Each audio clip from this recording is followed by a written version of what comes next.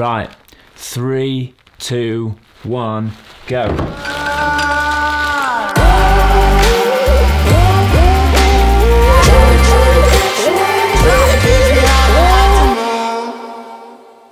The Aputure Light Dome 2 finally arrived and I just want to show you my favourite features of this softbox and why I think it's worth the money. Spoiler alert, it is well worth the money.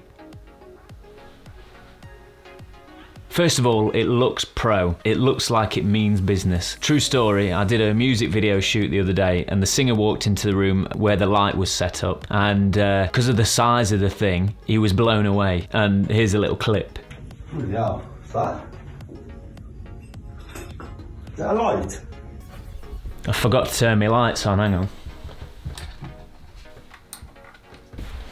Add a bit of ambience. There we go, that's better. Right. If you saw my video about the Godox SL60W video light, there's a link up there. Just this one, click, click that bit.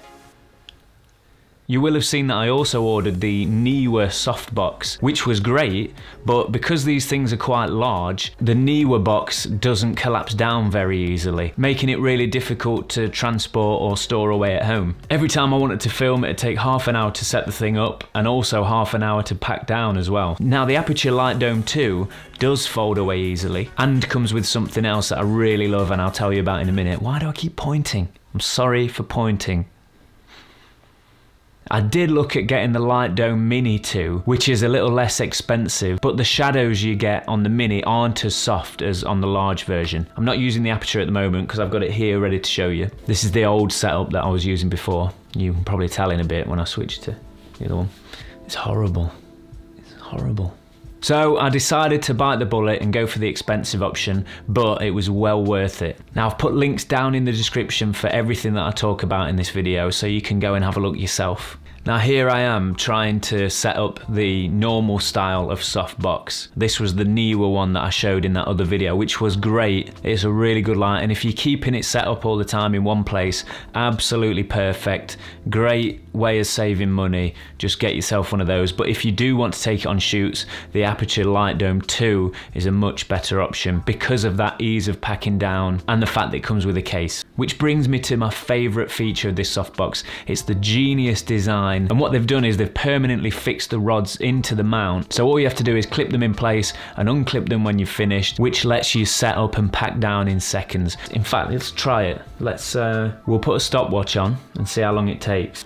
Right, three, two, one, go.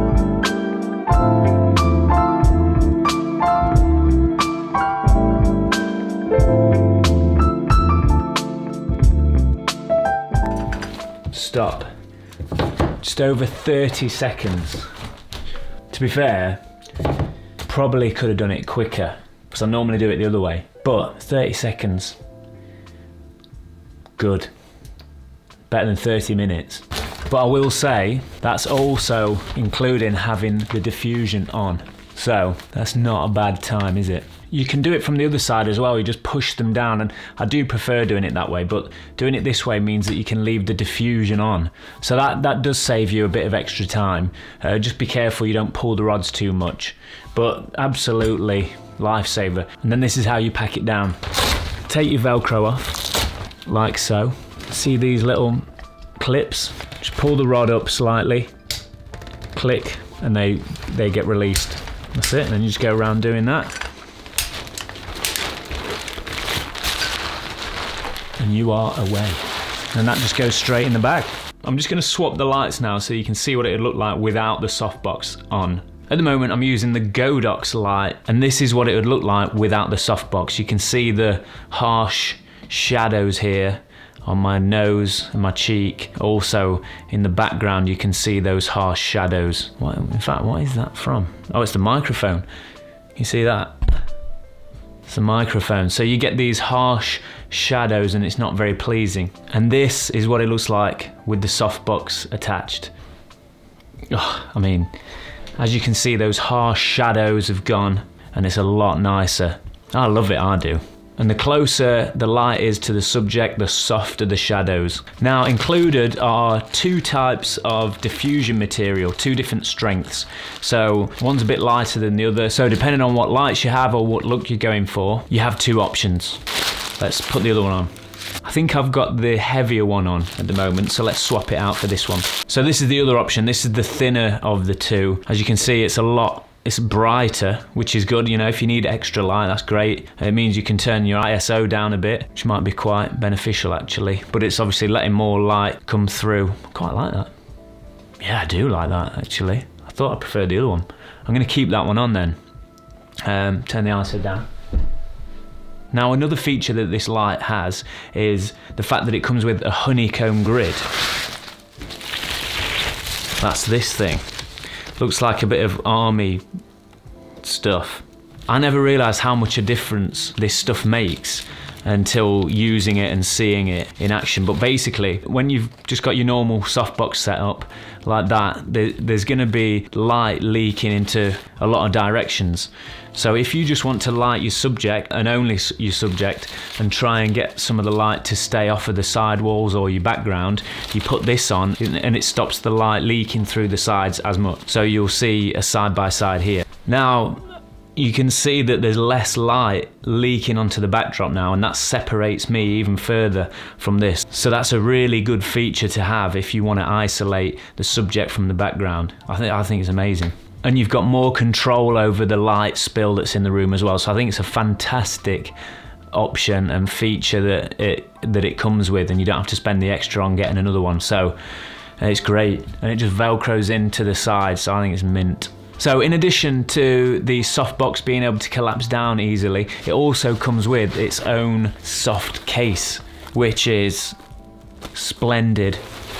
Nice little soft bag there. So you can fit in all your accessories that it comes with, chuck the softbox in there, zip it up, and away you go. And I just want to point out another feature as well um, of this softbox. They've redesigned where the rods actually sit in the fabric, which means the fabric is actually pulled wider, giving you a more circular shape. circular shape, rather than a sort of hexagonal shape like the other boxes are. It's a very subtle difference, but some people do pick up on stuff like that. It's like you might be able to see the, the shape of the light in my eyes right now. You see?